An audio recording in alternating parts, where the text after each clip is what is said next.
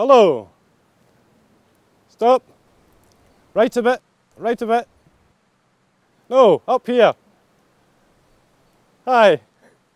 You're probably wondering where I am and what I'm doing. I'm sitting in one of the ancient Cadzow oaks at Chatelherault Country Park in Hamilton. And the reason I'm up here is because this is where the journey for this tiny little acorn begins. And it's a journey that could last up to a thousand years. And with any luck, this little acorn will eventually grow to become a huge, twisted, gnarled ancient oak like the one I'm sitting in.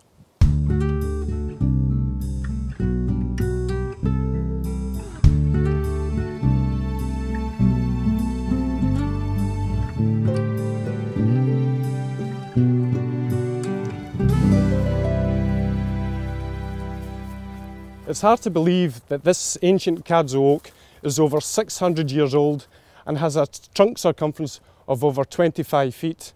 When this tree was an acorn, the King of Scotland was Robert the Bruce. But that's not the only amazing thing. There are over 300 of these ancient trees in the woodlands round about Chatelherault and some of them are over 800 years old.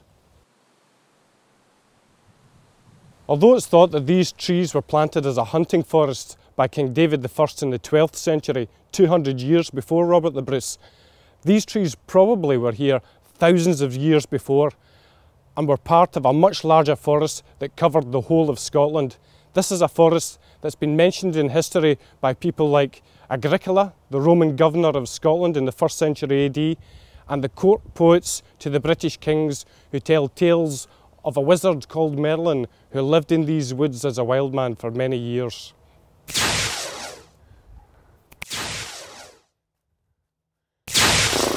I've got to stop doing that.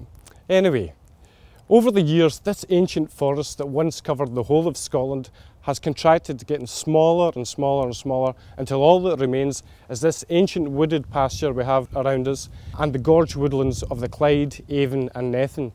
And it now represents such a rare habitat type in Scotland that it's been designated as the Clyde Valley Woodlands National Nature Reserve.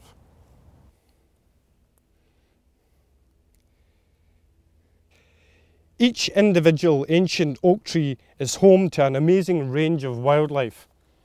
In fact, there is a little beetle called the hairy fungus beetle that is found in the ancient Cadzow oaks and nowhere else in Scotland. That's why these trees are so amazing.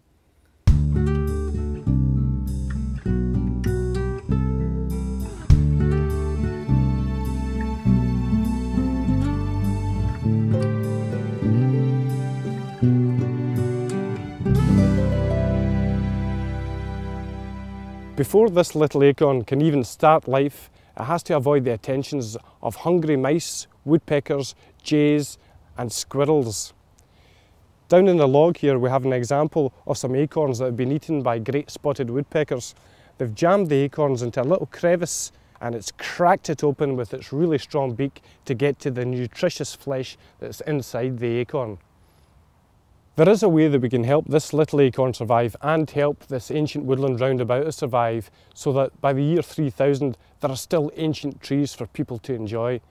We can collect these seeds from our towns, parks and gardens and plant them out into the countryside so that in future generations everyone can enjoy what we can enjoy at Chatelherault here today.